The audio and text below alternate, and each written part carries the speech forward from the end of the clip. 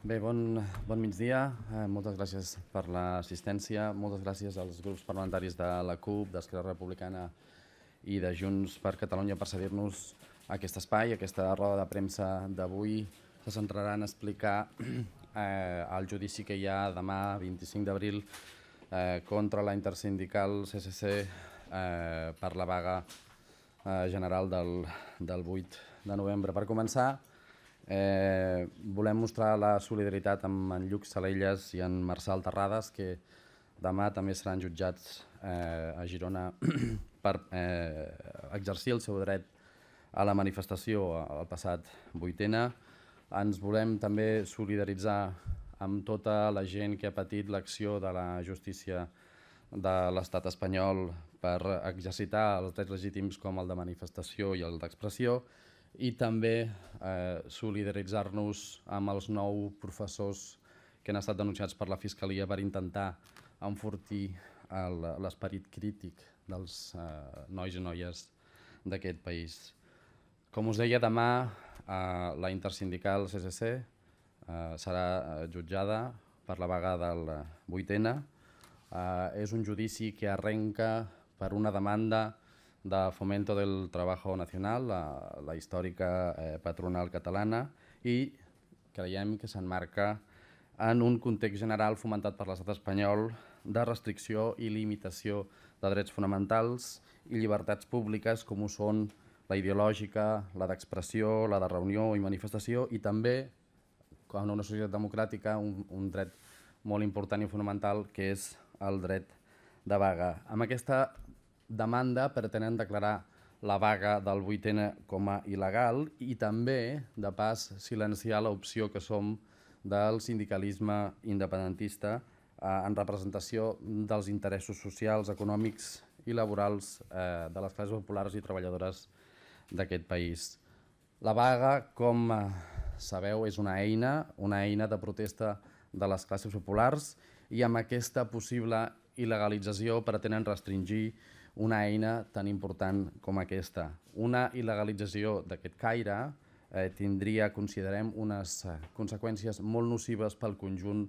de la societat catalana. El pretext de fomento eh, del Trabajo Nacional per eh, eh, demanar la il·legalització de la vaga eh, fou que és o que era una vaga política. Una, eh, eh, però els principals motius del nostre sindicat per convocar la vaga fou el, el, decret, el decret de fuga express d'empreses, el famós Real Decreto Ley 15-2017 de 6 d'octubre de medidas urgentes en matèria de mobilitat de operadores econòmics dentro del territori nacional. Eh, i entenem que aquest decret el que anava a fer era eh,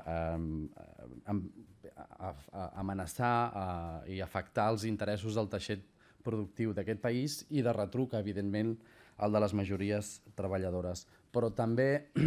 vam eh, convocar vaga eh, perquè eh, aquest Parlament va aprovar durant eh, diversos períodes un seguit de lleis per intentar pal·liar els efectes d'una crisi eh, econòmica eh, que dura ja fa molts anys, lleis com eh, la llei de la pobresa energètica, la llei dels pisos habitatges buits o l'Agència de Protecció eh, Social i lleis que van ser eh, anul·lades o suspeses per la judicatura espanyola i això era, evidentment, també un eh, dels motius. El dret de vaga, per tant, considerem que eh, està en perill, com molts altres drets corren el risc de ser suspesos o suprimits per part de l'estat espanyol. I considerem que no ho podem permetre i, per tant, cridem a la participació, a la solidaritat, al suport mutu de tothom per evitar més eh, restriccions i vulneracions dels drets fonamentals. Demà, dia 25, a les 10 del matí, hem, es convoca a tothom, a la ciutadania, als treballadors, a les treballadores, a expressar la seva solidaritat amb la eh, intersindical i a favor d'un dret fonamental com el dret de vaga eh, a les 10 del matí, deia, davant del Tribunal Superior de Justícia de Catalunya. I finalment, ja per acabar, eh, per no allargar-me, una eh, primícia. Aquest primer de maig, eh, un seguit d'entitats, entre les que estem nosaltres, hem convocat,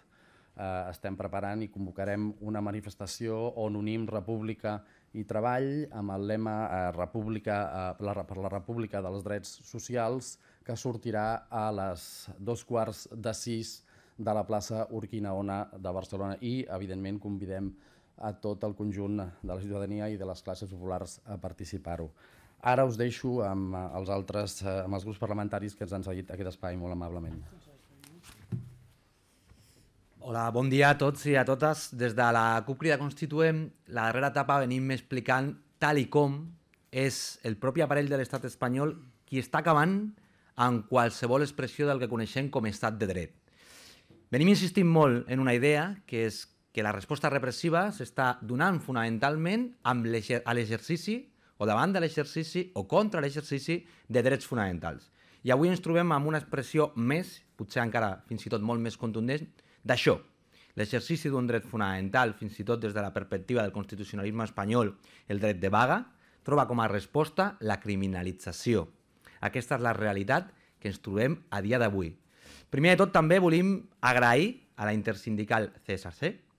el fet de que convoqués perquè els catalans i les catalanes poguessin desenvolupar una jornada de vaga el passat mes de novembre. Evidentment, era l'organització convocant i els catalans i les catalanes no haurien pogut fer vaga si ells i elles no haguessin fet allò que li correspon i té històricament al moviment sindical. Per una banda, en el que, el que fan en el dia a dia, que és construir seccions sindicals i participar a les eleccions sindicals i representar els treballadors i les treballadores als centres de treball, però per una altra banda també una de les expressions fonamentals en democràcia, com és l'exercici de dret de vaga.